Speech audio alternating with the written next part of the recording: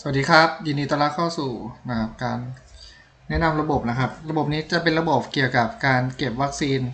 ในการฉีดวัคซีนของเด็กนะครับ ในโรงพยาบาลนะครับคราวนี้เรามาเข้าสู่ระบบเลยดีกว่านะครับ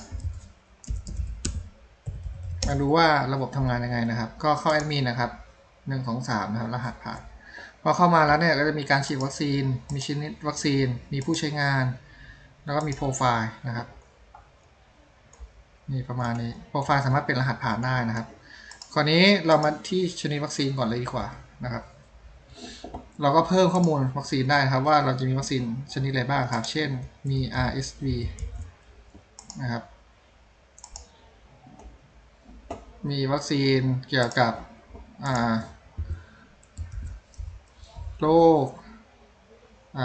หวัด ผมก็ไม่แน่ใจกันว่ามีวัคซีนอะไรบ้างนะ มี RSV มีโรคหวัด มีโรคหัด แล้วก็มีอ่าบัตรทะยักแล้วกัน โอเคนะครับ ก็สมมติว่ามีทั้งหมด 4 วัคซีนนี้นะ ต่อมาเป็นผู้ใช้งานนะครับ เพื่อผู้ใช้งานข้างนอกนี้แอดอ่าแอดมินก็เพิ่มข้อมูลนะครับ ก็ใส่ชื่อผู้ครองไปก็ได้ครับ อ่านาย สมชายเรียนเก่งแล้วกันนะครับ ใส่เบอร์โทรลงไป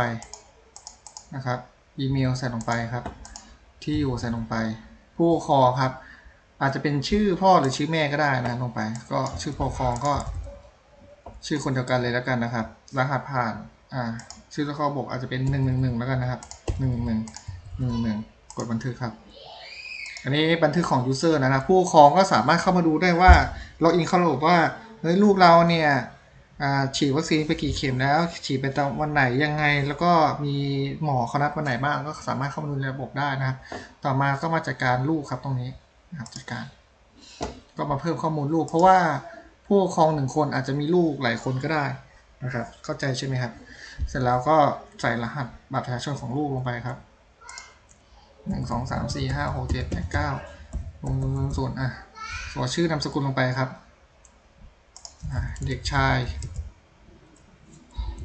อ่านเก่ง เรียนเก่งนะครับ วันเกิดนะครับ ใส่เข้าไปนะครับ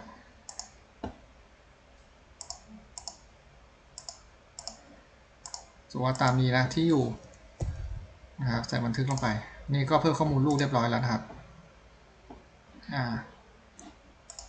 ผู้ปกครองคนนี้มีกี่ลูกกี่คนก็ใส่เข้าไปนะครับ จัดการต่อมาเป็นการฉีดวัคซีนนะครับ เราก็กดเพิ่มข้อมูล เลือกลูกครับเนี่ยลูกคนนี้ครับหรือจะ search อาจจะเซิร์ชจากตรงนี้ก็ได้นะครับพอเลือกแล้วปุ๊บใส่น้ำหนักลงไปครับ ช่างแล้วปุ๊บอ๋อตอนนี้น้ำหนักสามโลส่วนสูงแปดสิบห้านะครับ ฉีดเข็มที่หนึ่งครับ วัคซีนก็คืออัธยักวันที่ฉีด วันที่สี่นะครับฉีดครั้งต่อไปวันที่สามสิบกดบันทึกครับนี่ยจะขึ้นมาแล้ว ต่อไปเพิ่มข้อมูลอีกนะครับน้ำหนัก 3.5 สูงร้อยตอนนี้สูงร้อยละ อะ เขียนที่สองละ ฉีด RSV วันที่ฉีดนัดทั้งครั้งต่อไปนะครับ กดบันทึก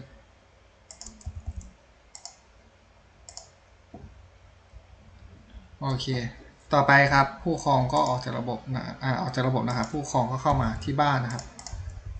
ก็สามารถมาดูประวัติได้ว่าเราฉีดไปวันไหน ฉีดครั้งต่อไปเมื่อไหร่เห็นไหมครับ ก็จบไปแล้วนะครับ เป็นประวัติการฉีดวัคซีนของลูกนะครับในโรงพยาบาล